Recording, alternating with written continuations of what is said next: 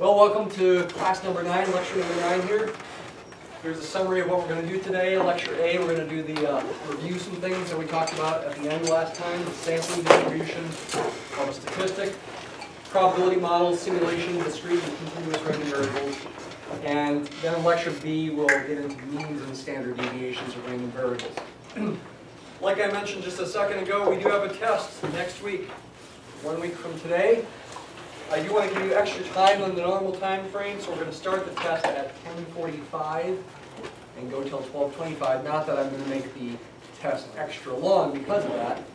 I do want to make it something that you could theoretically finish, even if you started at 11:10, um, but give you a little extra time just in case you need that. And some people do. When you do finish the test, you can leave early as long as you do as quietly as you can. A note card will be allowed, unlike the quizzes. Okay, so the test, a note card is allowed. Both sides of the 3 by 5 note card or smaller can be used to put anything that you want on. By the way, I will provide you with tables for the test. Table A and Table B. So you don't need to put anything related to the tables on the note card. However, there's a warning I always want to say with note cards you should study well enough by practicing old problems, especially that I'm going to provide on Moodle here probably by tomorrow sometime. by practicing old problems and timing yourself so you feel sort of the pressure of trying to do things quickly, that you have confidence that you can do well on the exam without a note card. Okay? The note card is just there as your security blanket. All right? It's there for your comfort to minimize your anxiety However, if you misuse the note card, if you don't study enough, you won't understand the material well enough, you'll, you'll slow down because you'll be looking for, your, for stuff on your note card. In fact, you'll, you'll probably experience more anxiety than you would otherwise if you are spending a large portion of the exam desperately searching through your note card for things you can use. Okay? So you want to know it well enough going into the test that you can do the test well without a note card.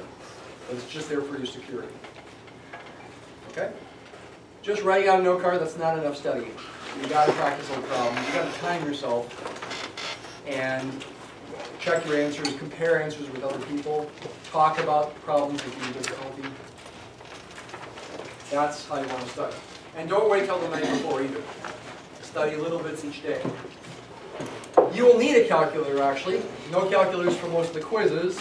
There might be some exceptions here or there, but mostly you, um, you won't use calculators for quizzes. However, on the test you will need one.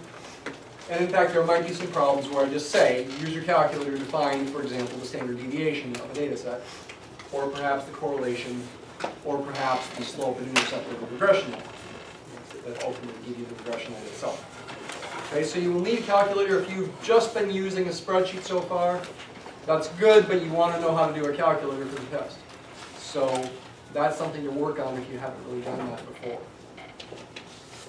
And probably on Thursday I'll quickly review how to use a TI-83 at least to do these calculations.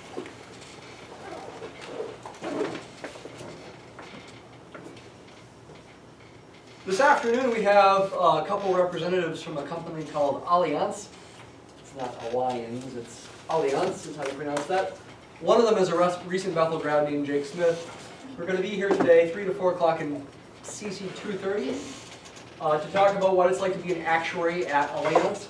Actuaries are people that use a lot of math, typically in insurance companies and investment companies to model risk like what are the chances that somebody will die the next day or the next week or the next month or the next year or what's the chances of getting hit by a tornado or getting in a car crash, which is a lot more common. They have to assess those kinds of risks mathematically to help insurance companies set their policies and decide what kinds of premiums you should pay. How much money should you pay the insurance company, say, every month, so that they will cover you if you have a loss. Okay? Big area of math. Uh, if that sounds intriguing to you, it is a good job. It's a highly rated job. Uh, typically, most actuaries do make above six figures, and they are very satisfied with their job. It is pretty challenging. There is lots of math, and you really would want to be at least a math minor um, to be an actuary. or at least have a lot of math classes in addition to your business classes, because there's a lot of tests to take that are, that are very mathematical. But if it, if it sounds the least bit intriguing to you, you're welcome to come this afternoon and hear about what it's like to be an actuary at LAS. All right, I want to finish off this sophomore slump thing. Just spend a couple minutes here with this. Probably going to need to zoom in there a little bit. I'm going to have to show you what's going on here. Remember, there's this phenomenon of the sophomore slump, and it's not an imaginary phenomenon. If somebody wins the Rookie of the Year one year, or the MVP one year, very often the next year they do worse, okay? And the basic idea is, and this would be true even if pitchers weren't, you know, improving themselves in their strategies against these players. Basically, the idea is the, the Rookie of the Year season or the MVP season, they are both good and lucky Whereas the next season, they, they're still good, but maybe not as lucky. That's the basic idea, the intuition behind it. Um, there's something called, well, OPS, that says OPS, that's on-base percentage plus slugging percentage, which, don't worry if you don't know baseball, it's just a number that measures how good a hitter is, essentially. Uh, it's sort of thought of as the best, best measure of how good a hitter, hitter is. ROY means Rookie of the Year, Rookie of the Year season. Uh, the rookies of the year, the hitting ones, the past 25 years or so, uh, have a histogram showing this kind of distribution in their OPSs. Nobody had below 0.7, which typically in baseball, they say that's 700, but really it represents 0.7. Nobody think had any OPS less than that, but the next year, lots of them had an OPS less than 0.7. In fact, one, two, three, four, five, six, seven out of these, excuse me, six of them out of these uh, 20 or 25 players or so had an OPS less than 0.7 the next season. However, you lose information about individual players there. Overall, the distribution is lower. Does that mean individual players went lower? You would think so. But to be more sure, you'd want to compute the differences in the OPS and graph those. This is season 2 OPS minus season 1 OPS. Season 1 is the rookie of the year, season 2 is the next year look at this graph, there's zero right there. Most of the people had a negative season two OPS minus season one OPS, meaning the season one was higher. So here I'm looking at individual players and subtracting the season two OPS minus the season one OPS. Most of them had negative differences, meaning most of them did worse the next year. Okay? So kind of an interesting example It's something where statistics can bring things to light. And it's basically because of the nature of regression, um, something called the regression effect. And you really can't avoid it, even if, even if pitchers didn't get better against these hitters. It's really not something that can be avoided, again, because in that really good season, they're both like good and lucky. Whereas the next season, they are good, but maybe not as lucky. They could be as lucky, but not lucky. All right, on to our main content today. Uh, remind you what a sampling distribution is. This is one of the most important things to understand for the whole semester. We are especially going to make use of this starting in chapter 6 and later. The sampling distribution of a statistic is the distribution of values taken by the statistic in all possible samples of the same size from the same population. Okay? Imagination is important in that. Okay? if you're going to understand something like this, and you should work at understanding it, it is one of the most important things in this class, you've got to use your imagination. Seriously. You can't just read the words and like just memorize them in order to understand what's going on. Got a little picture here to help your imagination. You imagine this is a, a population of people, okay? You know, you could count those people as being, I don't know, 40 or something of them. Imagine it's just a, a, snapshot of a bigger population, like everybody in the whole country or everybody in the world, okay? Is your population. You are sampling from that population. You're taking simple random samples. Now again, if your population was everybody in the country, it's really hard to do a simple random sample. For one thing, you'd have to get everybody's name, you'd have to find out where they live and be able to contact them, and then it would be really time consuming and really expensive to do a true simple random sample. You might have trouble with contacting certain people. They don't want to be called. They don't want to be contacted. You know, doing simple random sampling is actually hard, even though we call it simple. The simplicity comes with the math that we can do with simple random sampling. Um, which I'll talk about again in a minute. But we, we imagine taking simple random samples of the same size over and over and over again from the same population. Now you can do that in two ways. You can do the imagining in two ways. You can do it theoretically. In an advanced stats course, that's the way they would do it is theoretically. They, they imagine theoretically what would happen when they do the simple random sampling over and over. In this class, we really emphasize simulation with spreadsheets. We can simulate sampling from the population over and over and over again and see what happens. You get a bunch of different values of p hat. I guess, again, this is the situation where you're asking people, did they uh, eat out at a restaurant in the last week?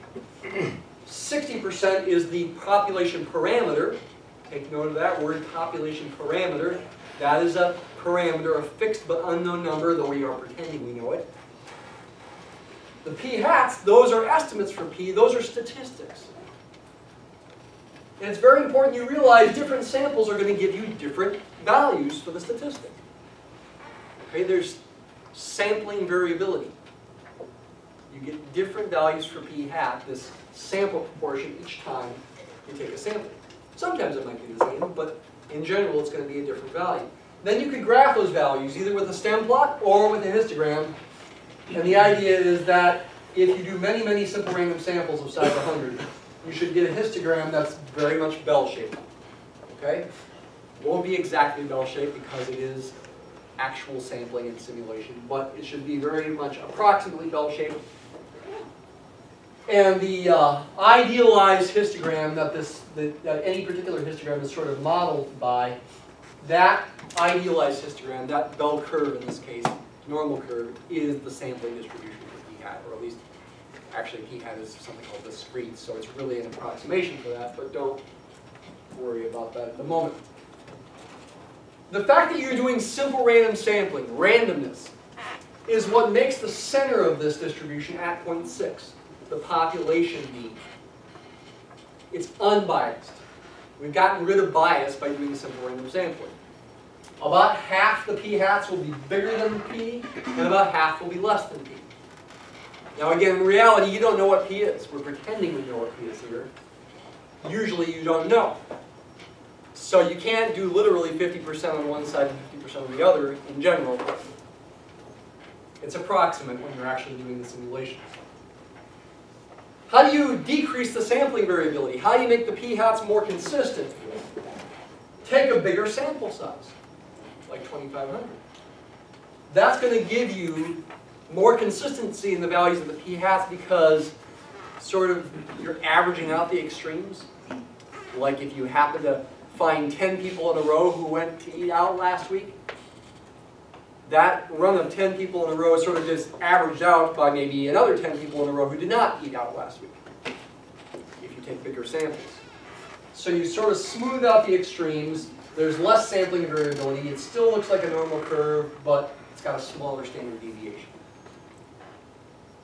More consistency in the values of p-hat. So you want both simple random sampling and large sample sizes, though there are always trade-offs. When you have large sample sizes, that costs time and money as well. Uh, here was my simulation that I did last time. Related to the people eating out. We focused on making a uh, graph like the one on the left here. And you have a um, electronic assignment where you did this with coin tossing. Today we'll focus on making a histogram, and let me show you how to do your coin tossing histogram. Okay, so I will now go to the spreadsheet for coin flipping. Last time, again, we made the graph, the flip series I call, called it, showing how the heads and tails varies over time and what the proportion of heads is over time as you keep flipping. This time we're going to make a histogram for what? For p-hat values, proportions of heads. So we're actually going to have to do samples of size 100 over and over and over again to get a bunch of different p-hats. Remember that it's equals rand between that you want to use. Essentially what I'm doing right now is I'm essentially showing you exactly what to do on your electronic assignment for next time. Okay? Equals rand between 0, comma 1. That will give you a 0 or a 1 at random with equal probability of 0.5 say. That's the assumption is that the spreadsheet is doing that correctly. First time it gave me a one, that represents heads. We're simulating coin flipping. If you get a zero, that represents tails. Copy and paste this down, click and drag it. Wow, a bunch of ones in a row. That happened in the last class too. I was just watching the video. Okay, that doesn't, I'm surprised it happened. It doesn't always happen. That's an amazing coincidence. Wow. Go down, we got a sample of size 100 here, a bunch of ones and zero, zeros. Let me copy and paste this entire column, not the label though. Starting in C2, this is what you're going to have to do. Copy and paste this entire column. Control C. And we're going to paste it where? We're going to paste it to the right. I've got a bunch of columns that say outcome. I'm going to paste these formulas over here into all of these. And this is what you're going to do. Each column is going to represent one run, one sample of 100 coin flips. So go all the way over to the right, how far, and go all the way down. Oops, that's too far. I forgot how far down to go. Ah! The 101 uh, actually, since I'm starting at row 2. Go down to 101. And then go over to the right. How far? Well, I made it go to column AP. I think I went that far because maybe it makes it a sample size 40 or something. I'm not remembering. Or, excuse me, not a sample size 40, but 40 runs of samples of size 100. I think I got 40 columns there if I remember correctly. Paste it, Control V. Look at that. Bunch of zeros and ones. Now at the bottom of these columns,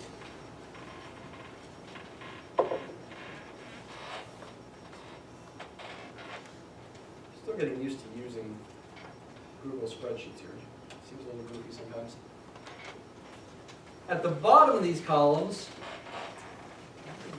there we go, okay label it this way, put sample proportion, or maybe I'll just leave it there for yours.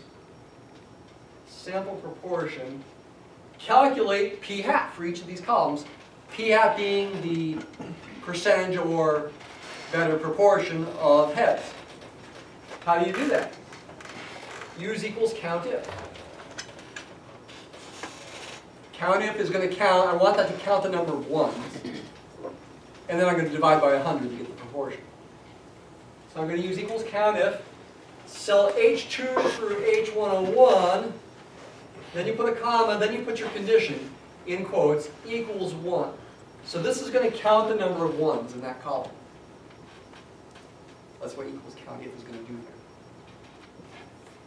Divide that by 100 to get the proportion. What should it be close to? It should be close to 0.5, yeah. Will it be exactly 0.5? Probably not. Should be close though. 0.46. Calculate this for each one of these columns by copying and pasting that formula over, click and drag. You get a bunch of different values for p hat. Now you're going to make a histogram of those values for p hat. I guess I have them all highlighted here. Insert, chart, it is giving me the wrong graph. We don't want that graph. We want a histogram. There we go. And then you can customize it. You, you should give it a title. You should label the axes. Probably is also good to fiddle around perhaps with the class ranges. It looks like it picked them to be 0.035 units long, which may be a good choice. Maybe it tries to pick the best choice but you might want to fiddle with it to make it a little different. Um, you can do that where it says buckets down here. You can say what the bucket size should be. Instead of 0.035, I could pick 0.05 perhaps. It changes the histogram. But it's still the same basic shape. It's a little left skewed. it's not perfectly symmetric. You, never really get something perfectly symmetric with this, with this simulation.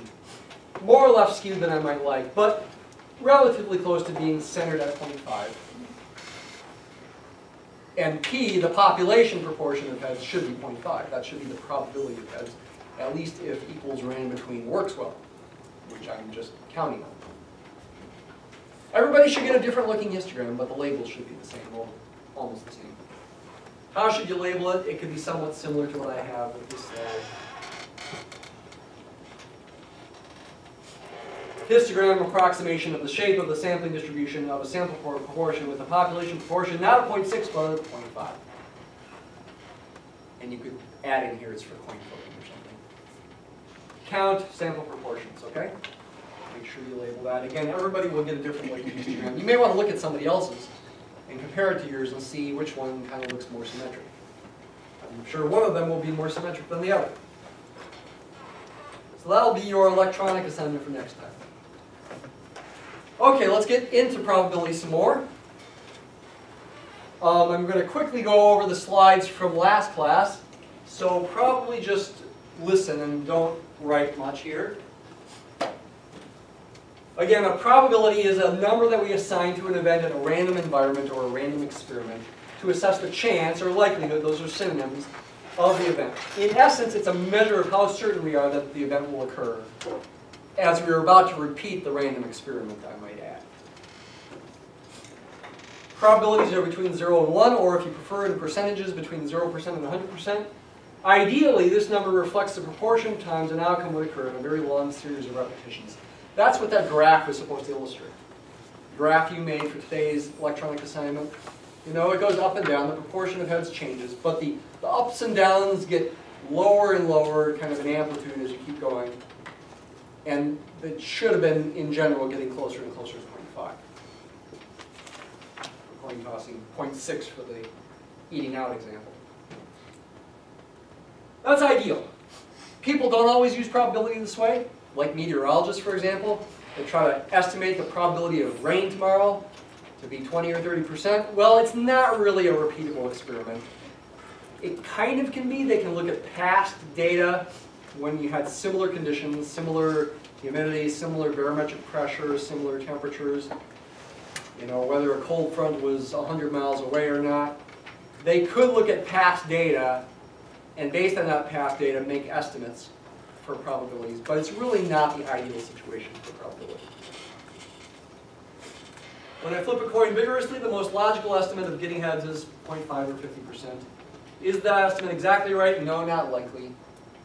You know, it could very well be 0.4999999 for all I know. But it doesn't really matter. Because we're just after models anyway. So it's okay if it's not perfect. Okay?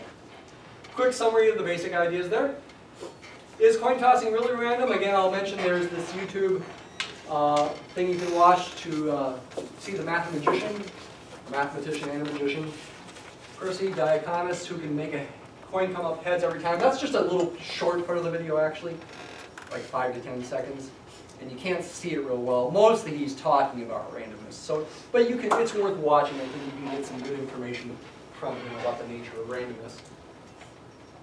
Here's some interesting questions though related to this. And these should be questions that I would encourage you to think about. And with the first one, you can be able to answer here. And we will try to answer it. If I flip a coin five times in a row, should I expect to get all heads or all tails? Intuitively, what do you think the probability is? Small, large, medium-sized? Small. If I flip a coin five times in a row, my chances, my probability of getting five heads or five tails is probably pretty small. That's a good guess. We'll try to figure out exactly what it is in a minute. On the other hand, if I flip a coin 100 times in a row, should I expect that somewhere in that series of 100 tosses, I get five heads or five tails in a row? Is that likely or not? It actually is fairly likely. The first question can be answered just by thinking about the possibilities, the sample space. The second question is harder, and probably for us the best approach is to try a simulation. Let's try to answer the first question. What's the sample space of outcomes of H's and T's when I flip a coin five times. Sample spaces is the set of all possible outcomes. I can use curly braces to indicate this as a set. One possible outcome is that I get all heads. Another possible outcome, not counting number of heads this time, but listing the possibilities, is I could get four heads, although I could get four heads in uh, five different ways. The tail could come last, it could come second to last, it could come third to last, fourth to last, or second is probably a better way to say that. And it could be the first thing that I get.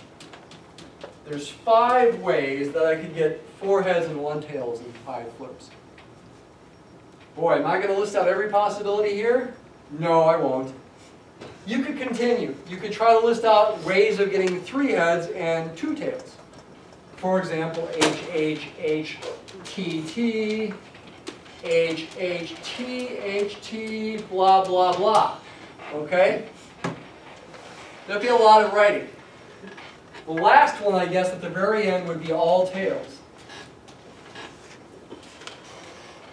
There's only two ways in a series of five flips to get all heads or all tails. That's one possible way, that's one outcome, there's another. Two out of however many things are in the set. Does anybody think they know how many possibilities there are in the set? You can answer it actually without listing them. 120. Okay, that's a guess. I'm glad you tried. It's not right. I'm glad you guessed though. It's, it's okay to guess. But we do want to work at trying to guess correctly. It's two to a certain power. Think about powers of two. Anybody remember combinations and permutations? The multiplication rule? You flip a coin head uh, five times. For each flip, you've got two possibilities. The multiplication law says to find the total number of possibilities in such a situation, multiply each of those. You get 2 to the fifth, which is 32.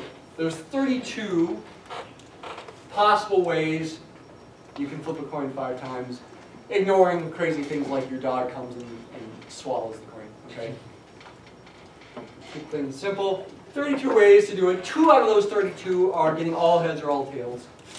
So the probability of all heads or all tails is 2 out of 32, which is 1 out of 16. As a decimal, oh boy, I'm forgetting that. I should know. I think it's 0.0625. So you want to check that for me?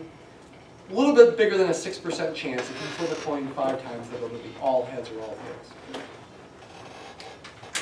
How about the second question? That is more likely, in fact, it's fairly likely, I think, although I haven't figured out the probability. We could try answering the question with simulation. We could try doing the coin tossing. In fact, we've already done that on this spreadsheet here. By the way, I'm going to get rid of the histogram here. I can find my cancel button. There we go. If I look at one of these columns here, is it likely that I'll see five zeros or five ones in a row? I think it's fairly likely in most of these columns that that'll be the case. For example, excuse me, there we go. In fact, that's one, two, three, four, five, six, seven zeros in a row, representing getting seven tails in a row. By the way, if you ever run into a mathematician who challenges you to say, I want one of you to actually flip a coin 100 times in a row and write down the H's and T's, and I want another one of you to pretend like you flipped a coin 100 times and write down a random series of H and T's. That mathematician can probably tell which of you actually did the coin flipping and which of you did probably pretended to do the coin flipping. Because most people, when they pretend to do coin flipping and write down heads and tails randomly, they typically don't write five or six or seven H's or T's in a row anywhere. And the mathematician, or the mathematician, would know that in a series of 100 tosses, somewhere there was likely to be a run of five or six H's or T's in a row. And so they would say that person did the actual coin flipping, and the person who did not put that run did the fake coin flipping. Okay? So that would be sort of a math trick, math magic trick that they could do. All right. Keep going here. Got the stuff about Probability models, I need to move on though. Probability notation, this is the new slide. I am going to use probability notation in here, and this is pretty confusing for people sometimes. If E is a symbol for some event, like the event of getting five heads in a row or five tails in a row, it's just a shorthand symbol, then the probability that E occurs in your next trial is denoted by P of E. Write it this way, and you say P of E. Neither E nor P is a number. E is just a shorthand for the event. It could be thought of as a set, a subset of the sample space. P is not a number either. It's more like a function name in a sense. In fact, this is analogous to function notation, f of x. It's the whole symbol, P of E, that entire expression that represents the number, the probability that E occurs in the next trial, that E will occur. Okay, so we'll use that notation. You want to get used to it. You want to use it correctly. You are going to have some problems where you have to calculate probabilities. You did already. You did it for finite sample spaces for today's assignment. For next time's assignment, you're going to be doing it for infinite sample spaces. For finite sample spaces, where you've got a finite number of possibilities, say flipping a coin, let's keep it small, two times and counting the number of heads. Flip a coin two times and count the number of heads. The most reasonable probability model for that, assuming it's a fair coin, that it's got a 50-50 chance of coming up heads each time, is like this. Make number of heads in one column, uh, probability in the other column.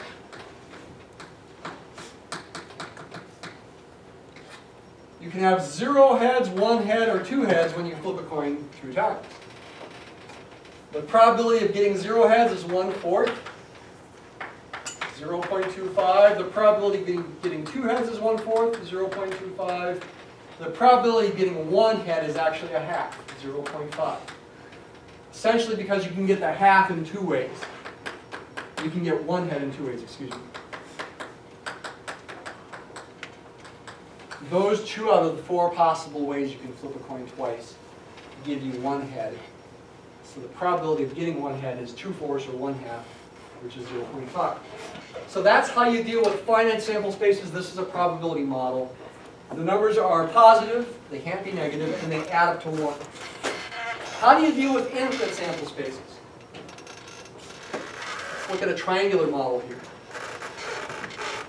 If you had a situation that was modeled with a triangular distribution, meaning, I take this particular triangular distribution, height has to be 1 so that the area